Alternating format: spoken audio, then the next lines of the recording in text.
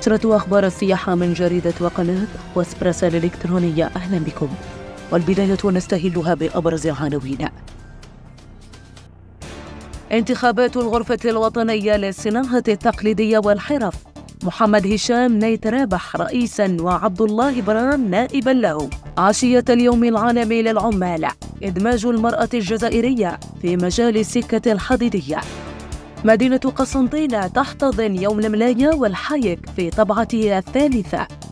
انطلاق الأيام الوطنية لأغنية الشعبية في طبعتها التاسعة بسطيف أهلا بكم إلى التفاصيل في المستهل فاز الحرفي محمد هشام نيت رابح بمنصب رئيس الغرفة بنسبة تصويت بلغت 57.65%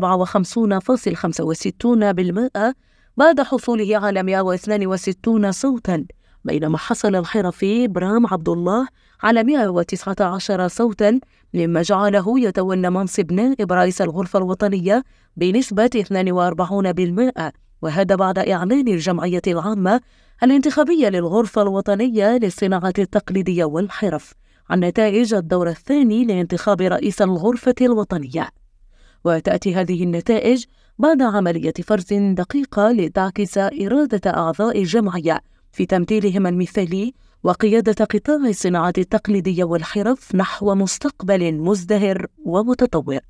هذا وأسندت وزارة النقل قيادة قطار محطة مطار الجزائر الدولي هو ريبومنديان إلى خفاش كريمة وذلك من أجل إقحام المرأة الجزائرية في مجال النقل بالسكة الحديدية وكخطوة تهدف لتشجيع وتثمين مجهودات المرأة الجزائرية تزامنا والاحتفال باليوم العالمي للعمال المصادف للفاتح من شهر ماي من كل سنة حيث تنقل وزير النقل محمد حبيب زهانة بمعية وزيرة التضامن الوطني والأسرة وقضايا المرأة كوثر كريكو اليوم الثلاثاء في رحلة على متن هذا القطار من محطة السكة الحديدية آغا إلى محطة مطار الجزائر الدولي هواري بومدين.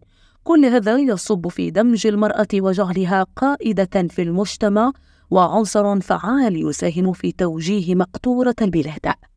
وفي سياق آخر يحتضن المتحف العمومي الوطني للفنون والتعابير الثقافية التقليدية قصر الحاج أحمد باي بولاية قسنطينة يوم الملاية والحايك في طبعته الثالثة وذلك يوم 7 ماي 2024 هذا اليوم الذي جاء تحت إشراف وزارة الثقافة والفنون يحمل شعار أحكي يا قسنطينة الملاية والحايك تراث ورواية.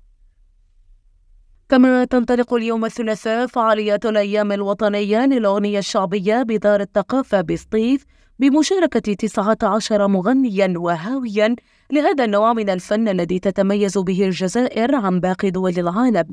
حيث تشرف على تنظيم هذه الأيام في طبعتها التاسعة جمعية الرشد الثقافية بالتنسيق مع مديرية الثقافة وبلدية سطيف وبرعاية وزارة الثقافة والفنون. وستصاحب هذه الأيام التي ستدوم لغاية الرابع من شهر ماي المسابقة الأولى للقصيد الشعبي ترحما على روح الفقيد الطيب قتال شكرا على حسن الإصغاء والمتابعة في أمان الله.